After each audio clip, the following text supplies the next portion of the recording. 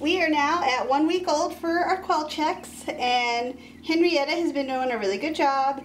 They're starting to get squirrely and so we are going to move them out into a newly reinforced quail hut.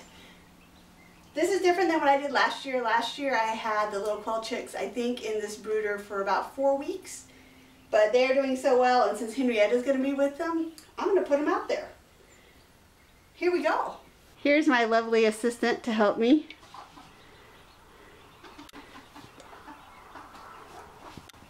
We are now out at the quail hut. I'm inside. We have done a couple of modifications. Around the entire perimeter of the quail hut we now have a hot wire that's electrified at nighttime. And then at nighttime and during the daytime I have two strands of poly wire. Because I really don't ever want to have the feeling of coming to my quail hut and not having any quail. We're about ready to put them in and see how it goes.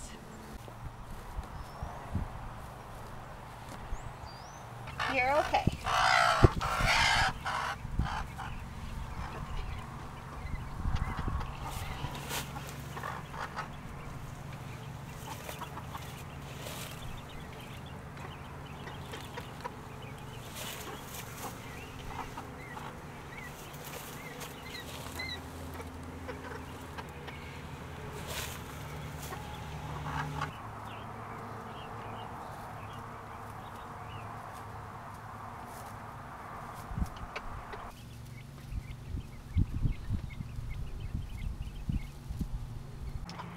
We made one change.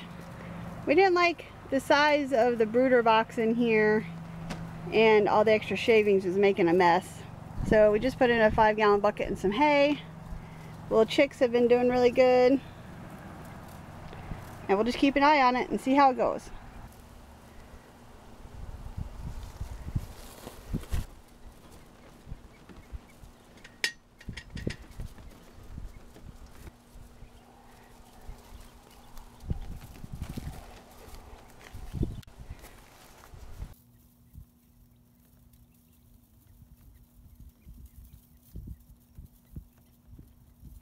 The quail are almost two weeks old. They've been doing very well in the little protective cage inside of the quail hut. Open the door here.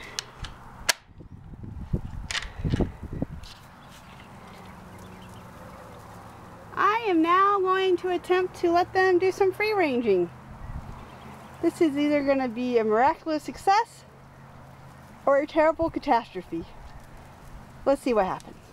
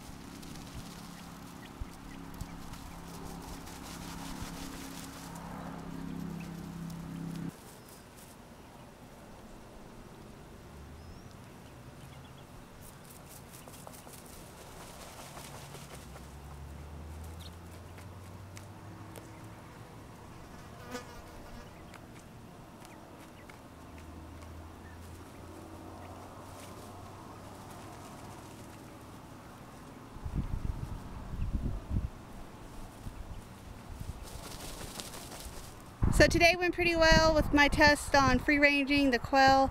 The dicey part actually was when I started to put them back and two of them are a lot more spry than you think they are. But I got them all in, they're with Henrietta, and so I will continue to keep giving them a little bit of free ranging and we'll go from there.